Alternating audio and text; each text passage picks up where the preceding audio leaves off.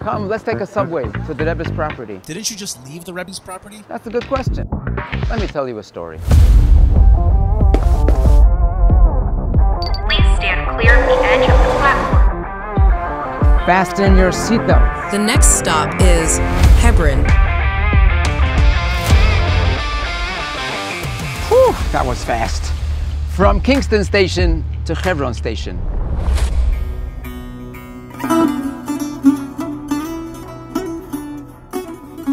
The story of Chabad in Hebron began about 200 years ago. The Mittler Rebbe, Reb Dov Ber, encouraged his Hasidim to go to Eretz Yisrael. He wrote about the importance of buying land in the holy city of Hebron and even commissioned the building of a Chabad synagogue here. Later, the community expanded significantly when the Tzemach Tzedek sent his own family members to Hebron, headed by the Mittler Rebbe's daughter, Rebbetzin Menucha Rachel Slonim, the granddaughter of the Alter Rebbe. This house is called Bet Romano. In 1876, Chaim Yisrael Romano, a rich grain merchant from Istanbul, built a large house on a piece of land he purchased outside the Jewish quarter. In this house lived the chief rabbi of Hebron, the tzaddik Chaim Chizkiah Medini, and established a yeshiva here. After the death of the house's builder, Chaim Yisrael Romano, his sons put the house up for sale, and local Arabs offered a large sum. Reb Chaim Chizkiah Medini tried to keep the house, but was unable to obtain the sum. Then Rabbi Shimon Heusman, a resident of Hebron, wrote a letter to the Rebbe Rashab, Reb Sholem Dovber, pleading with him for help. The Rebbe became personally invested in the project and managed to save Bet Romano. In 1911, after the purchase, the Rebbe founded the Toras Emes Yeshiva, The Ottoman Turks confiscated the house and its connected property and evicted the Chabad yeshiva. In its place, they set up a police station, which was later taken over by the British. In 1929, the Rebbe Rayatz, Rebbe Yosef Yitzchak Schneerson, visited Hebron and viewed with deep pain the confiscated Chabad property, but was not allowed to enter. Just three weeks later, an Arab mob set out to commit a horrific massacre against the Jewish men, women, and children of Hebron. In Beit Romano, the wounded and the murdered were gathered. From here, the dead were brought to burial, and the Jewish survivors were deported from Hebron. In 1948, the Jordanians occupied Beit Romano and used it as an Arab school.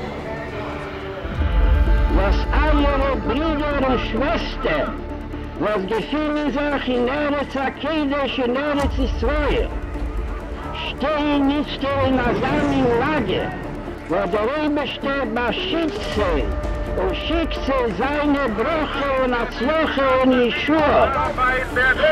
The miracle of the 1967 Six-Day War, Yerushalayim and Hebron were liberated.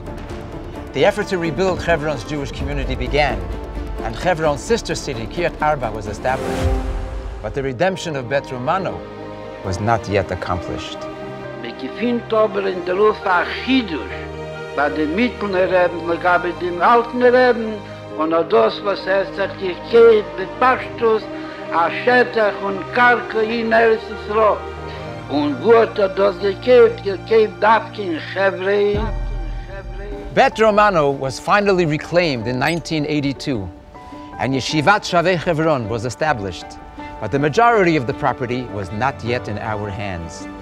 The struggle to reclaim the rest was difficult and lasted years. But with Hashem's help, now we are building big time. And here we are, standing in the Chizkiah Quarter Chabad property with a unique opportunity to be part of history. A property fought for by the Chemed, the Rebbe Rashab, by the Rebbe Rayatz, and the Rebbe. Right now, friends, this is a work site, as you can see. But soon, very soon, it will be 31 spacious, high-standard apartments with kindergartens, playgrounds, workspaces, and community facilities with two levels of underground parking, and all in walking distance from the Ma'aras HaMachpelah. This is an incredibly rare opportunity to build Eretz Yisrael, to rebuild Hebron, and to walk in the footsteps of the Avos, the Imahos, and the great Chabad Rebbe.